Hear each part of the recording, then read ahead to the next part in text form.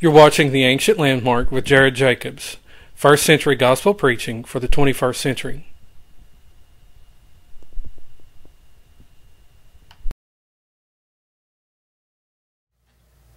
And welcome to this another edition of The Ancient Landmark. My name is Jarrod Jacobs, and I'm so thankful to be with you, and so glad that we have this opportunity to open up God's Word and to study and to learn from it once more. I'm so glad that you've tuned in, and it's always a pleasure and a privilege when uh, you invite me into your home that we might study from the book of God. I'm so thankful for this, and I hope that our time together will be beneficial and will be helpful. Certainly, whenever we're opening up God's Word and studying from the book of God, God's Word will not return to Him void. There is good that comes through and by the reading of Scripture, the studying of Scripture, and then taking that and applying it to our lives. What I'd like for us to do is, is read from Acts chapter 10 and also Acts chapter 11 as we consider the cases of conversion. Here's a case of conversion in Acts chapter 10 and also Acts chapter 11. It's actually one case of conversion that's found there, but it uses or it, it requires us to read from two chapters. Somebody says, well, why is that?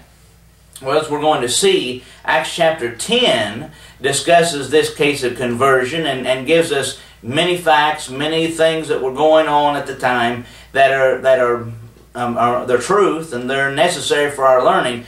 Chapter 11 is interesting because in chapter 11, the Bible says that Peter went back and Peter's involved, the Apostle Peter's involved in Acts chapter 10, but Peter went back in Acts chapter 11 and rehearse the thing in order. In other words, in chronological order. So as you read Acts chapter 10, bear in mind that Acts chapter 11 presents it in its chronological order, and that's going to be very important as we study, uh, as we uh, get into this study a little bit more. But in Acts chapter 10, we read about the case of conversion when it uh, is talking about Cornelius. Now, Cornelius was a Gentile. In fact, we're going to find that, Gent uh, that Cornelius is the first Gentile convert. He is the first Gentile convert because he is the first one who was not a proselyte. He was not anything connected with the Jews. He just accepted Jesus Christ and he accepted the Lord's plan of salvation and he accepted it. He was obedient to it. He became a Christian. But at the same time, he had not, before this time, he had not been a Jew or a proselyte or anything like that. And that's a key point. You know, sometimes people talk about the first Gentile convert, and you'll have people running back to Acts chapter 6 and other places say, well, you know, this guy over here, he was from another town, this guy was from another country, and whatever. Well, maybe so. But all those folks were either Jews by birth, like Saul of Tarsus, or who became the Apostle Paul. I mean, he was born in Tarsus. That's why they call him Saul of Tarsus. He was born in Tarsus, but both parents are, are Jews. So he was a Jew, full-blooded, if you will. He was a Jew, born as a Jew, born into the Hebrew nation. He was that happened to him, and yet he was from another country. He wasn't a proselyte. He was a Jew. Then, if you look on, you'll find others who are from other places. The Ethiopian eunuch, for example. The Ethiopian eunuch uh, was going to worship. Perhaps it was that he was from since he was from Ethiopia, perhaps he was a proselyte. Or there might have been others who were that way. But if you're a proselyted Jew, then you're still considered a Jew. To be a Gentile means this was an uncircumcised man. And that was the difference between a Jew and a, and a Gentile, and it's just as plain as form here is the difference between circumcision and uncircumcision. And you can also read about this in the book of Romans. Uh, that uh, book of Romans goes into great detail about that issue. Acts chapter 15, which we're only in Acts chapter 10, but if you go to Acts chapter 15, there's uh, no small stir over this circumcision, uncircumcision business. And what God expects, and, and following the plan of salvation, and what it means to be saved, and so forth. And here's an example of it. Here's this man, Cornelius, and the Bible says he's a Gentile, he was of the Italian regiment or the Italian band. He was a centurion. Now, the word centurion simply means that he was a ruler of a hundred people. And he was a, a soldier, kind of like the centurion that was there at the cross. Now, I'm not saying Cornelius was there at the cross, but I'm saying that centurion was there at the cross. He was a leader of a hundred men. He was in charge of a hundred men there in his regiment. Well, Cornelius, who lived in Caesarea, was very much the same way. But Cornelius, the Bible says, was a very interesting man. It says that he was a devout man. He feared God with all his household. Acts chapter 10 tells us. He gave, alms, he gave alms to the people and prayed to God continually. Verse 2. Acts 10, verse 2. And so here's a man who is a good moral man, we might say. This man is somebody you would like to have as a neighbor. I promise you. Because here's a man, he was a devout man, he's a good guy, you know. He prayed to God always, he gave alms, he gave charity to those who were in need. Uh, he feared God with all his household. Imagine that. He feared God, and his whole household feared God. Imagine being a neighbor to somebody like that. Better yet, imagine if you were like that. See, there, these are characteristics that I can take and certainly apply to my life and I can certainly take them and, and consider them and, and learn from this man. But you know, as good as he was, and has as he had a very high position in society, he'd been a centurion. Uh, he was in Caesarea, living there. He was a devout man. He feared God with his household. He gave alms to the people. And the Bible says that uh, he prayed to God. But you know, for all of those things, you know what this man lacked? You know what he was lacking, where his life was, where there was uh, something missing from his life? You know what it was? Salvation. You know, for all of these things, as good as this man was, and as moral as he was, and as upright, and like I said, as much as you'd like for him to be a neighbor of yours, just as much as you'd like to, I would like to take, and, and that'd be a part of my life. If people would say, here's a devout man, and he prays to God, and he fears God, and, and, and is a giving person, you know, as, as much as I would want people to say that about me, and not because it wasn't true, but because it was true. As much as I'd like to live that kind of a life. You know, morality alone won't save you just being a moral person is not enough.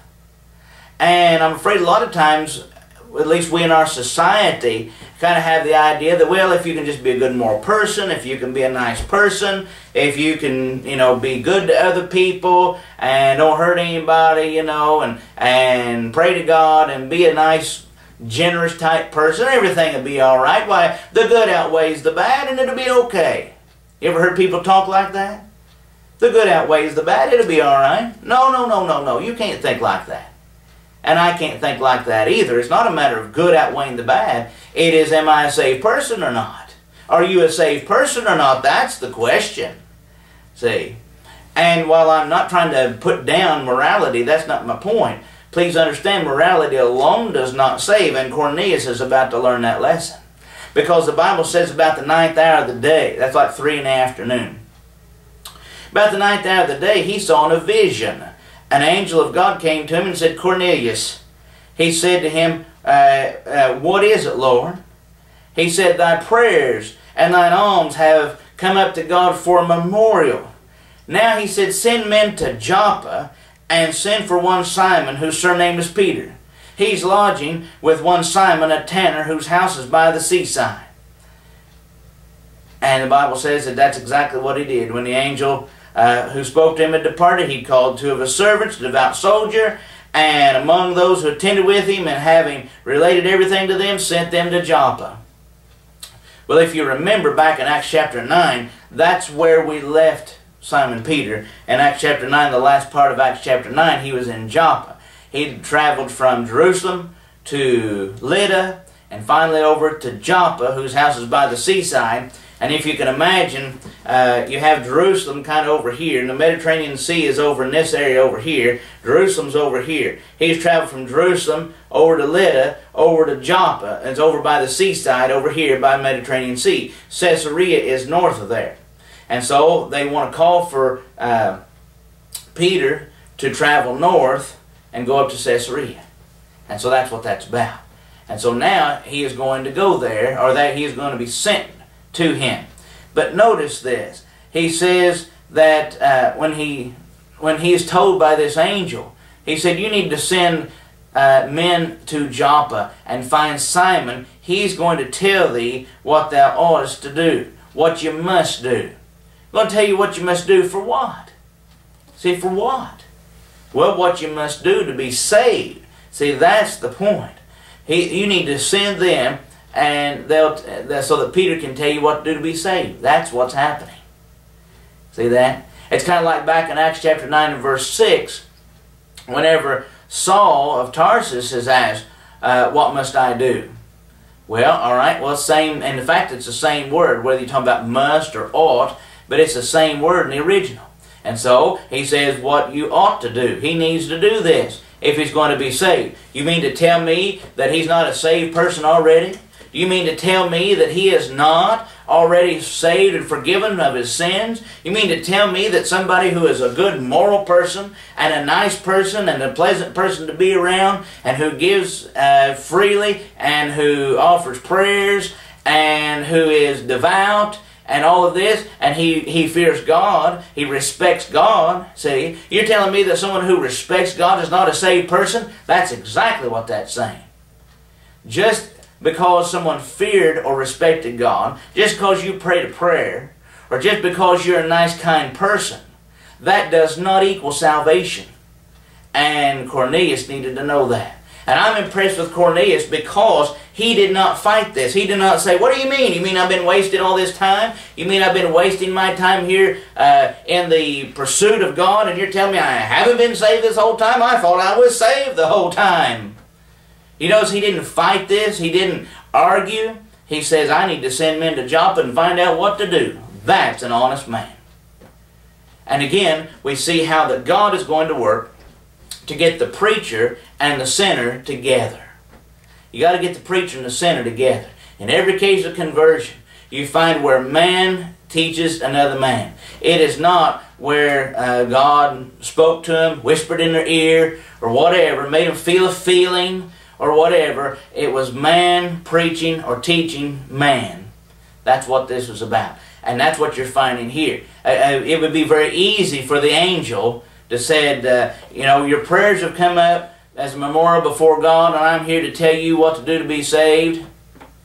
So that'd been very easy to do, wouldn't it? And so it's not a matter of, of difficulty at all. It'd been very easy for an angel to say that and to do that, but that's not what God wanted. The angel said, You need to send men to, uh, to Joppa and find Simon, surnamed Peter, and get him and get him up here and let him teach you. That's what happened. Meanwhile, back at the ranch, the next day, it says, as they were on their journey and approaching the city, Peter, the Bible says, went up to the housetop. Remember Simon the tanner? And he was up on Simon uh, Simon's rooftop up there. He was up there about the, it says about the sixth hour to pray. The sixth hour the next day, so that's like noon time.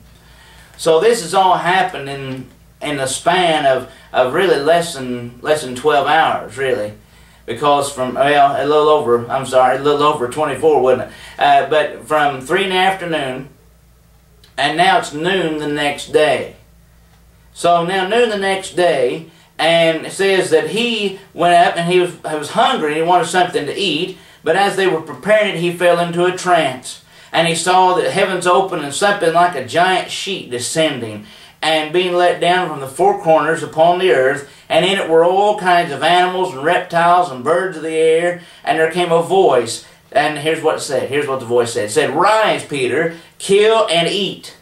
But Peter said, By no means, Lord. In other words, no way. I have never eaten anything that was common or unclean. The voice came unto him a second time and said, What God hath cleansed, that call not thou common. That happened three times, and then the thing was taken up into heaven. Now, while Peter was inwardly perplexed, this is verse 17. While Peter was inwardly perplexed, in other words, he's wondering about this. What in the world is that sheep thing about? What in the world is those animals and that voice? What in the world have I just seen? While this is going on, the Bible says, Behold, men who were sent by Cornelius, having made inquiry for Simon's house, stood at the gate. And they called out as with Simon, who's called Peter, was lodging there. And while Peter was pondering the vision, the Spirit said to him, Now, so far we've got an angel involved with Cornelius, send men to Joppa. Now we've got a vision of Peter's, and now the Holy Spirit speaks to Peter and says, Behold, three men seek for thee. Rise and go down and accompany them without hesitation, for I have sent them. You go with them. And he said, I have sent them. And so Peter went down. He said, I'm the one you're looking for. What is the reason for your coming? Verse 22, that's when they explain what we already know about. They're talking about Cornelius and he had this vision and such, and they said he came and we need, to, we need you to come back with us.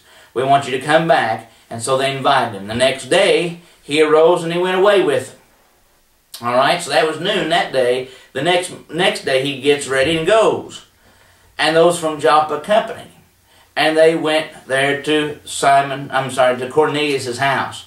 When Peter entered, it says he fell down at his feet and worshipped him. But Peter lifted him up and he said, Stand up, I also am a man. And you know, that really impresses me right there. Whenever Cornelius sees him, Cornelius doesn't know any better than when he sees Peter fall down and worship him. And Peter stopped him. You know, there's a lot of folks today, or there have been folks today, and, and currently those who claim uh, a descendancy from Peter, and uh, they will accept worship. Now you think about that. Peter here does not accept worship, and he says, You stand up, I'm a man just like you. And he does not accept that worship. But you find folks today, and they call themselves the Pope, they call themselves the, uh, now they call themselves the Vicar of Christ. Used to they called themselves the Vicar of, of Peter. Now they call themselves the Vicar of Christ. And they're claiming that uh, descendancy and that lineage through Christ. I'm sorry, through Peter. And this, that descendancy or lineage through Peter. They're claiming that. And yet, guess what? They accept worship.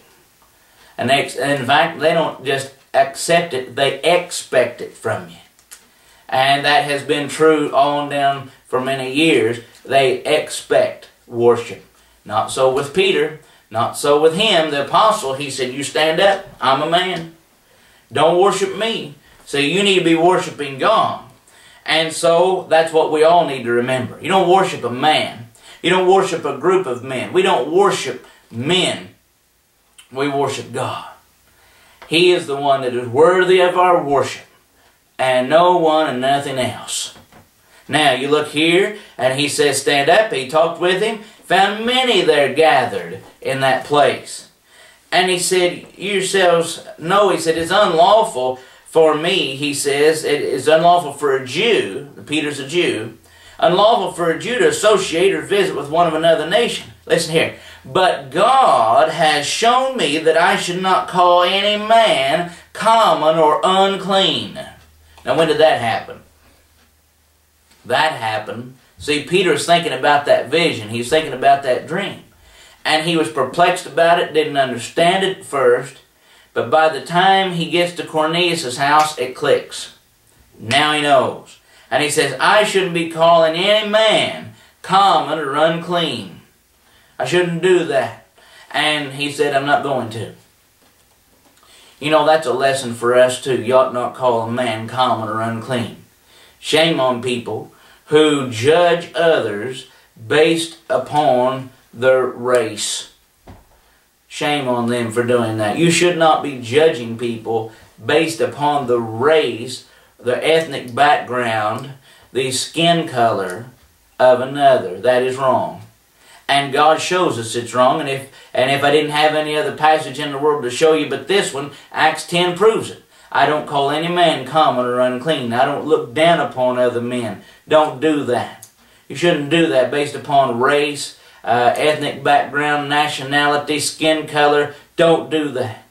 And there's people who will say terrible, harmful, hurtful things to those of a different race from them and that is wrong. It is wrong when a white man uh, calls a black man or a Chinese man, uh, you know, uh, wrong, you know, racial slurs. That's wrong.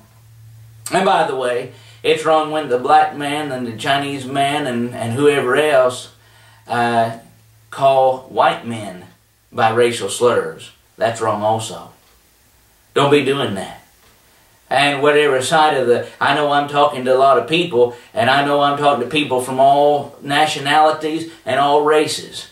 God says we're all of one blood. Acts 17 says that we're all of one blood. And that being the case, we all are God's children. Just like the old song about uh, Jesus loves the little children. Remember that song, Jesus loves the little children, and says red and yellow, black and white. They're precious in His sight. Isn't that true? Sure it is. And by the way, Jesus loves little children, but Jesus loves the grown people too. And He loves you regardless of the race. And men ought to be ought not be so shallow that they are prejudiced against someone's race. And that's what this is about. He says, I don't I don't do that. Now, they did do it, and the Jews did do that, and the Jews did act that way. He said, But God has shown me I shouldn't be doing that. I don't do that.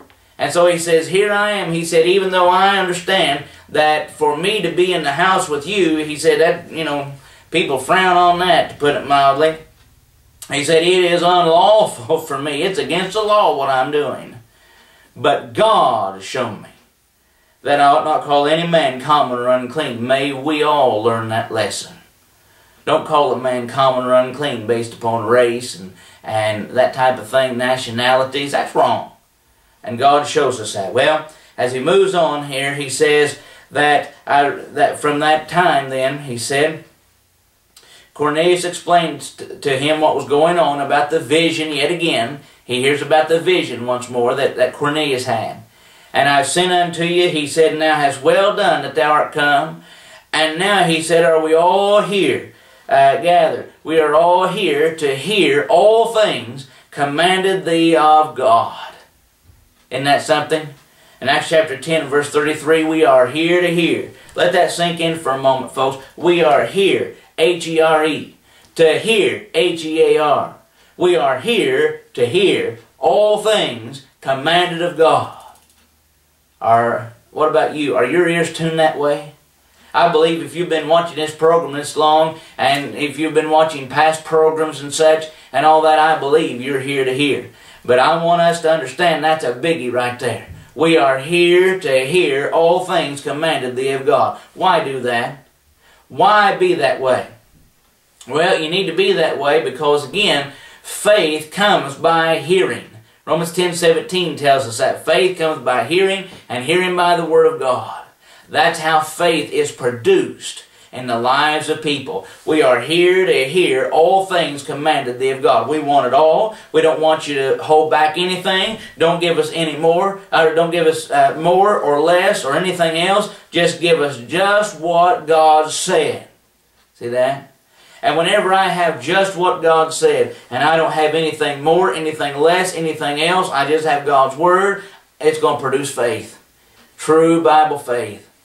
And that's what I need if I'm going to be saved from my sins, because that's where it starts, in hearing God's Word, producing the faith. That's where it begins. And then that produces repentance and leads me to confession of Christ and leads to baptism for the remission of sins. We're going to see that in this passage. And also that faith is what's going to keep me strong as I continue to grow in grace and in the knowledge of our Lord and Savior Jesus Christ, 2 Peter 3.18. And isn't it interesting, the, the very same one who is there with Cornelius, the very same one who is there to tell all things commanded of God, and going to tell them what's necessary to be saved, is the one who writes a letter later on, 2 Peter 3. He writes a letter later on that says what's necessary to stay saved. Grow in grace and the knowledge of our Lord and Savior Jesus Christ. Well, that's what's happening here. And that's what's being taught and shown right here in this passage, Acts chapter 10. And he says, that's what Cornelius said, we're all here to hear. All things commanded thee of God. He called together his kinsmen and near friends, and they're all there because we want to hear the truth. We want to hear God's word spoken. We want to hear what God has to say. So those things being true then, what did he say?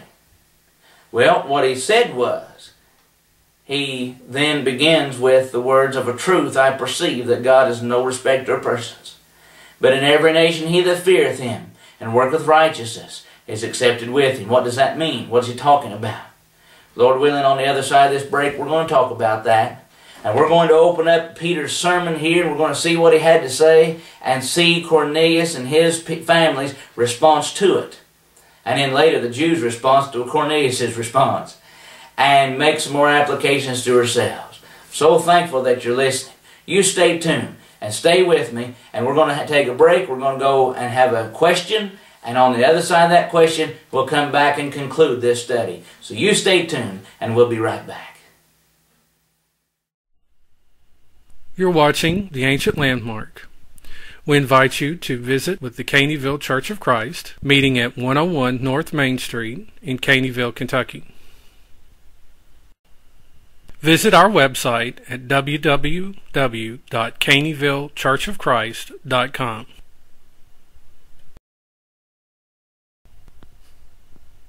Sunday morning Bible classes for all ages begin at 10 a.m. Sunday worship services begin at 10:45 a.m. and 5 p.m. Wednesday night Bible classes for all ages begin at 7 p.m. And tune into our radio program, The Ancient Landmark, Monday through Friday from 1 to 1.30 p.m. on 99.9 FM WXMZ or listen live on the internet at www.thez.voyagetech.com.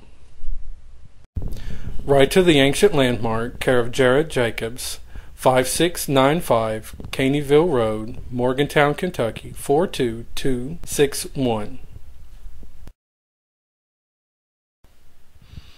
For a free Bible correspondence course and a free subscription to the Old Paths, our teaching bulletin,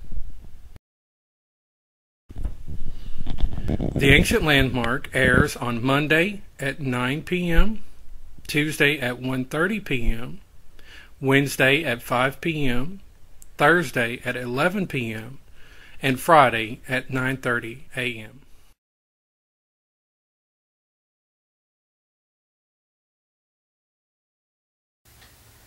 Our question at this time is asking what is the purpose of miracles? You know, there's a lot of miracles recorded in the Bible, aren't there? And you can look to, uh, of course, Jesus walking on water, the healing of the sick, raising of dead people. You can talk about uh, the parting of the Red Sea, even to the granddaddy of all miracles, whenever the Lord spoke this world into existence. That was a miracle, because God just spoke and there it was. He made all things, didn't he? And so, what is the purpose of miracles? That is a good question. You know, if you look around today, uh, you might find folks who are kind of like Simon. Simon tried to perform miracles. He tried to do little tricks and things. And the purpose for it was uh, that he might gain money. And he might have great gain and bewitch a lot of people. And so if there was some way that you could have, um, you know, a miracle, a miraculous act that you could do, uh, why, you might make money off of it. You might gain uh, followers you might be considered as somebody who can, uh, you know, someone who is, uh, you know, uh, godlike and what have you. But what is the purpose of miracles? What really do we see in Scripture? I suggest to you that we could look in the book of John chapter 2 and see the purpose of miracles. If you look in John chapter 2, we find in the beginning of, of the miracles that Jesus performed, the first one being at Cana of Galilee. In John chapter 2, it talks about how he turned water into wine. And the Bible says, though, that this first of his miracles Jesus did at Cana of Galilee, John 2, verse 11. And it manifested his glory. Now watch this. And his disciples believed on him. Folks, the purpose of miracles is so that folks will believe. That's why Jesus performed these miracles. You look in John chapter 2 and now verse 23, and you'll see this once more. How that it says, When Jesus was in Jerusalem at the Passover feast, many believed on his name when they saw the signs he was doing. When folks saw what Jesus was doing, then they believed. Miracles were performed, whether Old Testament, New Testament, whenever. They were performed as that badge of authority. They were performed for the purpose that folks might believe the message that was being spoken. In fact, in the book of Exodus, you can look and, and find, you remember when God chose Moses to lead the people, that is in the early parts of the book of Exodus. That in Exodus, uh, we find that God chose Moses, and for example, in chapter 4, Exodus chapter 4 is just one example of this. He's, when God chose him, he said, The people won't believe that you sent me. How am I going to prove that you have sent me? The Lord asked him in Exodus chapter 4 and verse number 2. He said, What is in thy hand? He said, uh, Staff. He said, Throw it on the ground. And he threw it on the ground. The Bible says it became a serpent. Moses ran away from it. And then God said, uh, Put your hand out and, and grab a hold of that, that staff again. Grab that snake by the tail. And so he did. And when he did, the Bible says it became a staff once more. And then he, he goes on, the Bible says, and he says, Put your hand in your coat. And so Moses does. He puts his hand inside his coat. And when he pulls it out, that hand is leprous. It's full of disease. It's leprosy. God tells him to put his hand back into his coat again. And he does. And he pulls it out, and his hand is clean. It is uh, whole again. It is healthy. And that kind of thing. And what the Bible says that uh, if you would do that, God tells him, if you do that, the people will believe you. And so Moses had some miracles that he performed. And the purpose was so that people would believe. So whether you're looking in Old Testament, New Testament, that's the purpose for those miracles. And certainly that uh, the, the record of those miracles still holds true today. And the fact that we can read about the various miracles just uh, would certainly um, help to strengthen our faith. And uh, we find here that, of course, Bible faith today comes how? Romans 10 verse 17, faith cometh by hearing, and hearing by the Word of God.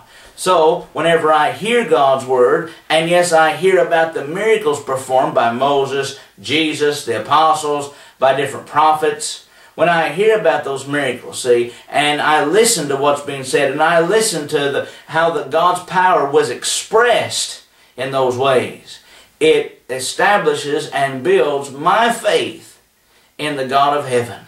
Because I know He is the one who made these things. He's the one who made all of this possible. And He is the one who's loved me. He is the one who spoke this world into existence. He is the one who sent His Son to die. You think about Jesus Christ. Jesus, God, God in the flesh. Somebody says, how can God be in the flesh? Folks, God in the flesh, right there shows me if, nothing, if Jesus never performed a miracle, he was a walking miracle. And so all that being done so that we might believe. Yes, you need to believe as well. Believe the Bible, believe the truth, and live by it every day.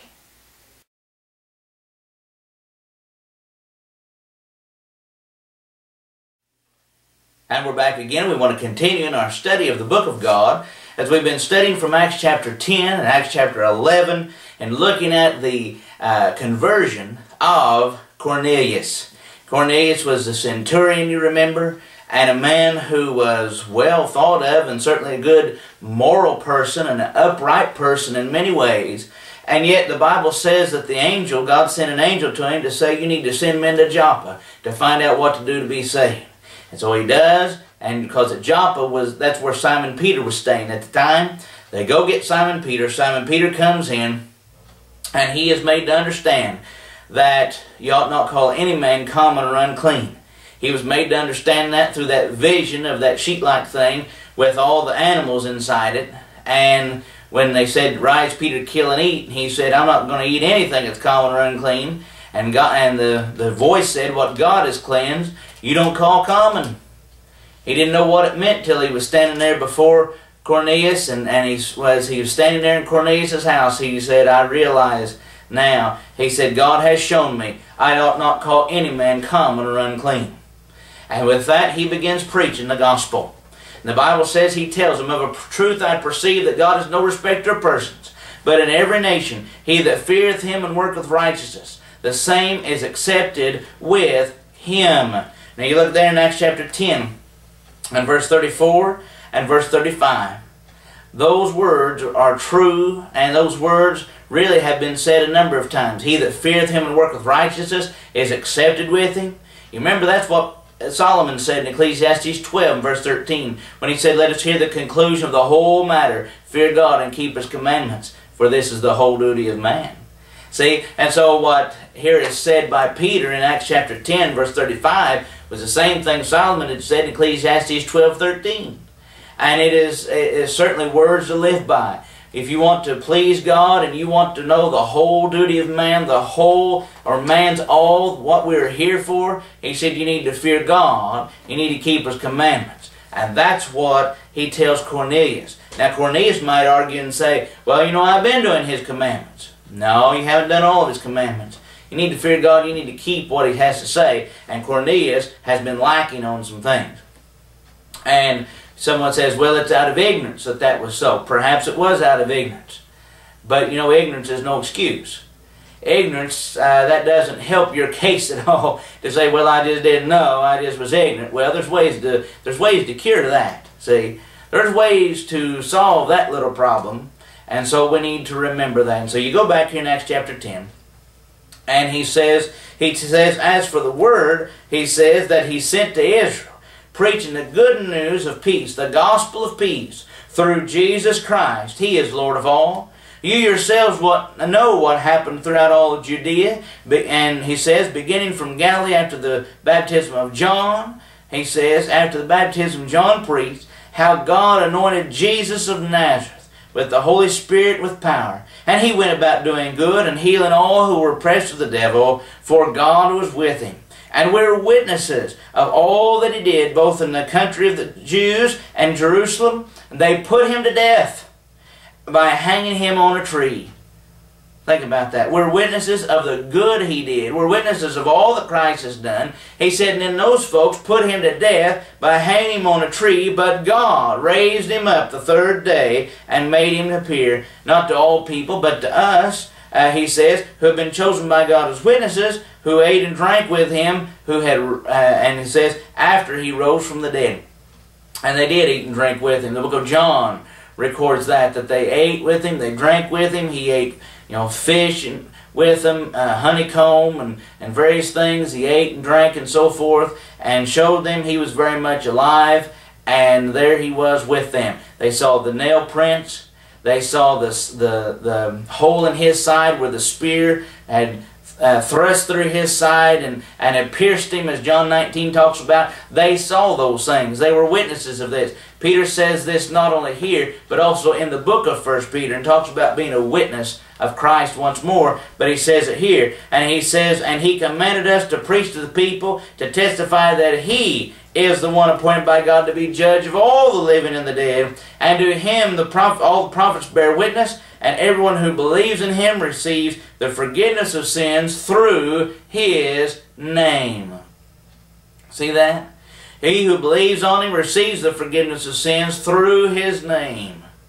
But what is done through his name? You go back to Matthew 28 and verse 19, and he said, There go ye therefore and teach all, nation, teach all nations, baptizing them in the name of the Father, and the Son, and the Holy Spirit. The things that was done through his name. See? And so, he says, while Peter was saying these things, the Holy Spirit fell on all those who heard the word. It says, and the believers, he says, from among the circumcised who had come with Peter were amazed because the Holy Spirit was poured out even on the Gentiles. For they were hearing them speak in tongues and extolling God. Then Peter declared, Can anyone forbid water that these should not be baptized who receive the Holy Spirit as well as we? And he commanded them to be baptized in the name of the Lord Jesus. Uh, he says, and, and then they were remained with him certain days. Now that takes you to the end of chapter 10. We go into chapter 11 here in just a moment. But I want us to notice here what's happened. Here, where the preaching was done, the preaching of, of God's Word was going on, and they were hearing that. You go to Acts chapter 11, and you find that it's quite fascinating because when you look here, you see all the uh, same elements as before in, in Acts chapter 11.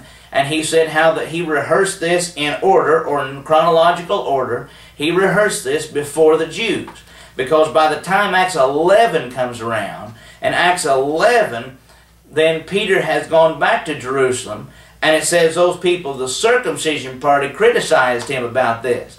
And those people who said you had to be circumcised as well as keep the rest of the, the new covenant law and everything, but you had to have that fleshly circumcision also. You had to have that in order to be saved. And so he answers them. And he rehearsed it, the Bible says, in order. And so he goes through and talks about what had happened and the sheet like thing again that he saw, and the people who came and visited and so forth. And then back down verse 15 of Acts 11. Acts 11 verse 15 is a key verse to help us understand Acts chapter 10. Because he says there in Acts 11 verse 15, As I began to speak, the Holy Spirit fell on them just as us at the beginning. So as he began to speak, and so the the words that we saw here, the things that were were said about uh, you know of a truth I perceive God is no respecter of persons, and every nation he that feareth him will work with righteousness is accepted with him. About the time he is saying those words there, that's the time the Holy Spirit falls on them. See, as I began to speak, the Holy Spirit fell. And so, even though Acts chapter 10 is not in chronological order, Acts 11 is, and that helps us with this next section. Because you see, we have people today who often say, well, uh, if you have someone who is uh, uh, going to be saved, then, or if they are saved, then the Holy Spirit comes on. And really, there's kind of two schools of thought, depending on who you're talking to, I guess. Some people take the Holy Spirit as, as evidence that you are saved, and some people would say, well, the Holy Spirit has to work on you in order to make you saved. See that? And either way is wrong because the Holy Spirit does not operate directly on you, me, or anybody. He doesn't work, operate in a direct manner uh, on you. And then here it says the Holy Spirit fell as on uh, them as on us at the beginning, but he says as I began to speak, those things happened. But what's interesting is if you look at this, Acts chapter 10, go back to Acts chapter 10 for a moment.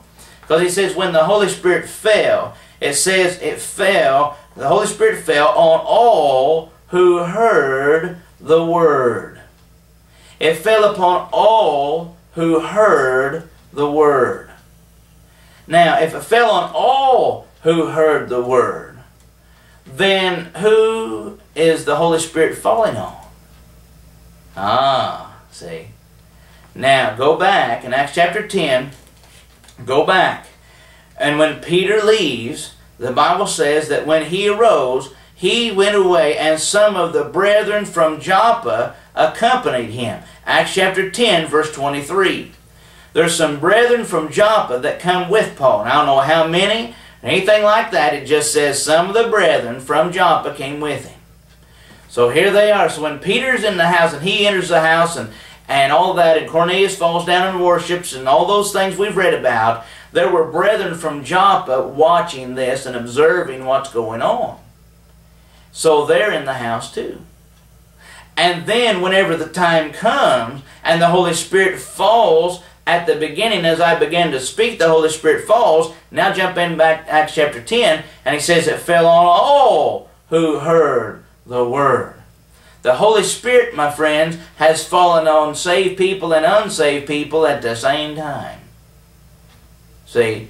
So, away with this idea that says, well, uh, you know, the Holy Spirit falling on somebody was a sign of salvation. Well, wait a minute. It can't be because it fell upon unsaved people. And if you think that they're saved people, they say, no, no, no, no, those, those Gentiles are saved people now. That's why he fell on them. If you think they're saved people, then I'll bring you back to Acts 11 15 and remind you that it was as I began to speak. See, faith comes by hearing, and just as he started to speak, this all happened. If, if it's true that those folks were saved, then they were saved before faith, even. Are you ready to claim that? Are you ready to admit that? That you can be saved even without faith? Because that's what's happened. As I began to speak, Peter hadn't had time to get started yet. And then the Holy Spirit fell, and we're going to see why in just a moment. I haven't, still haven't told you why. The Bible tells you why. We haven't read down far enough yet to find out why, but we will. The Holy Spirit's fallen on them. They hadn't had they hadn't got time to hear it. They hadn't had time to believe. See, faith comes by hearing the Word of God. They hadn't had time to believe. So, that being the case, I ask you again, are they saved people now? Now, I know the brethren from Joppa were saved people. They were brethren. But I'm talking about these Gentiles. The Holy Spirit's fallen on Jew and Gentile. Has fallen on saved and unsaved people at the same time. There's a reason for it. We just haven't got there yet. I want to make this point, though, very clear. Everybody with me? I know you are. You can see this. You can see through a barrel with both ends knocked out. You can see this. And now, when it comes to the Holy Spirit falling on them, and it says they were all who heard the word, and the believers says, from among the circumcised who had come with Peter were amazed because the gift of the Holy Spirit was poured out even on the Gentiles. Even on them. They were amazed because the Holy Spirit's fallen and, and been given to them. Even on the Gentiles, see? Even on these unsaved people. And so here they're witnesses to it. And so Peter's a witness to it. These other men are witnesses to it. And they said, here they are. They can speak in other tongues. They can praise God. And by the way, to speak in, a, in other tongues just means other languages. That's all that means. And so they heard them speaking in another language rather than the lingua franca of the day uh, there at Caesarea. They were speaking in other languages now. And they heard that.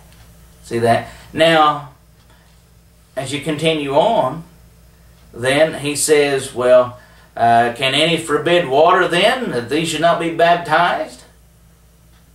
Can any forbid water now? In other words, is there somebody that's going to say they shouldn't be baptized? Is there someone that's going to deny them this opportunity to be baptized, to be saved, because they're not saved people yet? Because baptism saves you. 1 Peter 3 and verse 21 says that. And, and by the way, 1 Peter 3.21 was written by Peter. Okay? So here it is again. So baptism saves you. And so he says, can any forbid water that to not to they might be baptized? In other words, they can be saved. Now, why was that so? Why did that happen? Why did the Holy Spirit fall? Well, it's interesting because the connection is made between this uh, event of the Holy Spirit here. You can see the connection between this, the sheet-like thing, the uh, angel speaking to Cornelius, and that entire connection all the way through flows for one purpose and for one use. And the reason why you have these miracles and these events going on was so that you get the preacher and the sinner together. That's what you've done. See that? And there again, it would have been very easy. If the Holy Spirit can inspire men's tongues to speak other languages, don't you know it's just a snap of the finger for the Holy Spirit to inspire or to put in in uh, in the minds of Cornelius and his household to put in their minds the things necessary to be saved, so that Peter doesn't have to say a word. You see where I'm going with this? Peter doesn't have to say, if the Holy Spirit would just inspire and, and, and, infuse it, as it were, just inspire them to know what it is necessary to be saved. But you know the Holy Spirit didn't do it? The Holy Spirit did not do that at all. Somebody says, How do you know He didn't do it? I know it because now we come back to Acts chapter 10, and all that long speech I read to you from Acts chapter 10, about verse 36, and down through verse 43, all that speech was given and was spoken to the uh, I'm sorry to Cornelius to his household to those Gentile people that was preached to them after the Holy Spirit fell. Not before after the Holy Spirit fell after they're speaking in tongues after they're praising and extolling God and all of that after that event goes on now the preaching is done so as to do what to give faith to people that Romans 10 17 that they might then be what? Baptized for the remission of their sins. Why? Because in Mark 16, 16 he says, He that believeth and is baptized shall be saved. That's why. See that? Now, isn't that fascinating? That all fits together just like a big puzzle piece, doesn't it? And whenever I put, that's why I said we had to read Acts chapter 11. Because Acts chapter 11, in its place, in chronological order, we see that that, that event of the Holy Spirit falling and all of that taking place right there, it actually comes before the preaching. And so you put it back in its preaching spot, and you see we still got unsaved people, but the purpose of it was to make sure we understood that the preacher and the sinner need to get together and let the preacher tell the sinners what to do to be saved. The Holy Spirit didn't do it. Now, you want to know why it is? Why well, did the Holy Spirit fall? Well, we told you part of it. I'll read the rest to you from Acts 11 and verse 18 in Acts chapter 11 and the verse of number 18, he says, after, now this is after Peter expounds this in chronological order, down one, two, three, four, just walking them right down through what had happened. And as I began to speak, the Holy Spirit fell upon them as upon us, just as us at the beginning. And I remembered, he said, the words of the Lord, how he said, John indeed baptized with water, he said, but you'll be baptized with the Holy Spirit. If the Lord, or if God, he says, gave them the same gift to us, uh, gave to them as he gave to us who believed on Lord Jesus, who was I that I should withstand God? In other words, there's too much evidence here. There is too much overwhelming evidence that this is exactly what God wants he wants all men to be saved, not just a few, not just some, but all men to be saved from all corners of the world and all corners of the earth. And he said, This is exactly what's going on. Now jump to verse 18. When they heard this, now remember, this was the circumcision party people. This is the, the sect, the sect of, of people that were uh, saying you had to keep uh, the, uh, well, keep circumcision as well as keep what the Lord said in the new covenant. He said you had to do both things. And here they, they fell silent. In other words, they shut up. And it says, they glorified God, saying, then hath the uh, then to the Gentiles God has granted repentance unto life. Isn't that fascinating? They understood that when the Holy Spirit fell, this was the sign. This was the signal. This was the point that they say we recognize God has granted unto the Gentiles repentance unto life. Now, folks, this chapter here in Acts chapter 10 and Acts chapter 11, this account, this event, this case of conversion means much. And it means a great deal more to us, I hope, than perhaps we thought before. But I want you to understand, this means a great deal to us because uh, I'm a Gentile and you're a Gentile. There, uh, this, this country of America is pretty much all Gentiles. And really, uh, so far as the, the Western Hemisphere to a great, uh, to a great degree, we're Gentiles. See that? And so the, the Jewish nation itself, even in the first century, the Jewish nation itself was very limited. There wasn't a whole lot in comparison with the world population. There wasn't a great percentage of people that were the Jewish people. But God granted to the Gentiles repentance unto life. In other words, God wants salvation for everyone and for everyone in the world. God wants His salvation. He wants the word preached. He wants the message, His message, sent forth and then folks to, to believe it and to be saved. That includes you and that includes me, and this passage shows it. What Jesus had said in Mark 16, 16, and verse 15, first of all, Mark 16, verse 15, going to all the world, preach the gospel to every creature. What God had said, what Christ had said that day, was being fulfilled in Acts 10. It's being fulfilled right here, folks. And from this point forward, and we'll see that Saul, who becomes the Apostle Paul, we'll see the Apostle Paul go to the Gentiles. He goes to them as well because God wants this message, this gospel plan of salvation. He wants it preached and taught to everyone, to all corners of the earth. That's why we have, uh, that's why we do what we do today. That's why the Caneyville Church of Christ is so active in making sure the Word of God gets out. We've got radio programs and we've got a website, CaneyvilleChurchofChrist.com. We've got uh, uh, YouTube videos. We've got all of these things so that people all over the world can hear the truth, can believe it, and can obey it. Not to the glory of man, but to the glory of God. And that's what we need to see here. We recognize. Did you notice that, that after Peter came back and after he explained it and after he told them what was going on, Acts 11 18, they glorified God over that.